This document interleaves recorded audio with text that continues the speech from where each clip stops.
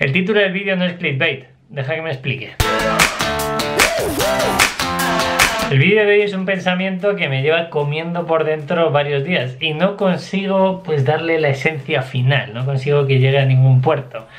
Por eso estoy aquí, para ver si tú me echas una mano. El otro día iba por Madrid de reunión en reunión y me llamó mucho la atención eh, ver mucha gente fumando en las terrazas y en la calle. La verdad es que en ese momento la actividad política en Madrid estaba bastante revuelta. Si eso le sumas la incertidumbre empresarial, le sumas la pandemia, pues te puedes imaginar que en todas las reuniones, en todos los cafés, en todas las comidas, el tema de conversación era siempre el mismo. Todo el mundo estaba un poquito nervioso, incluso tenso. Seguí caminando y me dio por pensar, joder Pepe, eh, realmente todo el mundo está preocupado por cosas que no puede controlar y se preocupa muy poco por cosas que realmente puede controlar, cosas que dependen de nosotros, de ti y de mí. Refiero a cosas que sabemos que pueden ser malas a medio y largo plazo para nosotros, pero que solo por el gusto y disfrute decidimos hacerlas a corto plazo sin pensar en qué consecuencias pueden tener en un futuro. Algunos ejemplos para que te pongas en contexto. Fumamos, bebemos casi a diario, comemos comida basura, dormimos poco, tenemos trabajos que nos estresan y que nos condicionan la vida, consumimos drogas, eh, hay gente que es muy sedentaria, otros abusamos del deporte en exceso. Pero sinceramente que esto no compensa. O sea,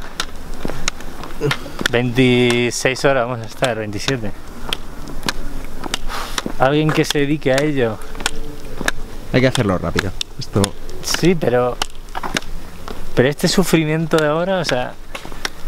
Llevo sufriendo. Pero esto, esto Pepe. Desde hace seis horas.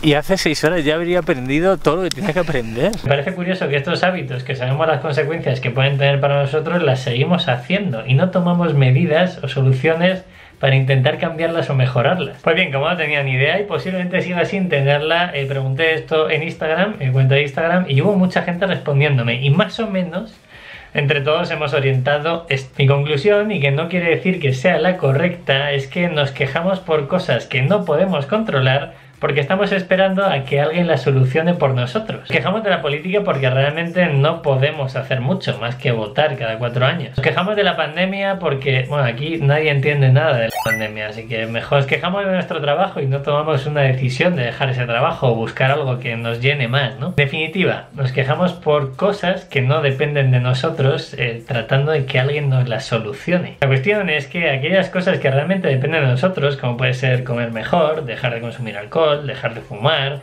cambiar de trabajo si nos está estresando mucho el trabajo, hacer algo de deporte. Preferimos no tomar acciones a corto plazo y dejar al hipotético futuro las consecuencias que pueden tener nuestros actos, o mejor dicho, nuestros no actos. Creo que como siempre todo radica en el equilibrio, en ser consciente cuando estás haciendo las cosas bien, ser también consciente cuando las estás haciendo mal, pero sobre todo tener una coherencia sobre nuestros actos y sobre todo, y aquí la moraleja del vídeo, que como siempre todo radica en tomar acciones que nos afecten de forma directa a nosotros comer mejor, dormir más, eh, hacer deporte, dejar de consumir alcohol. Son acciones que dependen de nosotros, que podemos mejorar poco a poco esos hábitos y que a medio y largo plazo posiblemente nos traigan una serie de mejoras en nuestra vida. No estoy 100% seguro de mi pensamiento, me encantaría que me dijeras en los comentarios cómo lo ves tú, por qué nos matamos, por qué seguimos actuando mal sabiendo que lo tendríamos que hacer bien y por qué dejamos que haya tantas decisiones que afectan tanto a nuestra vida que no podemos tomar nosotros ninguna acción sobre ellas y no tomamos acciones sobre las que realmente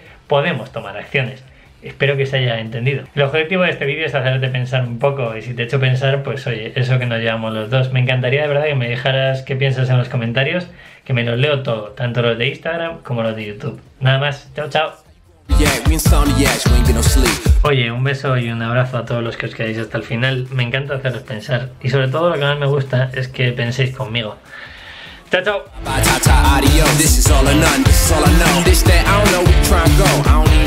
try and roll. Me and my friends try and hit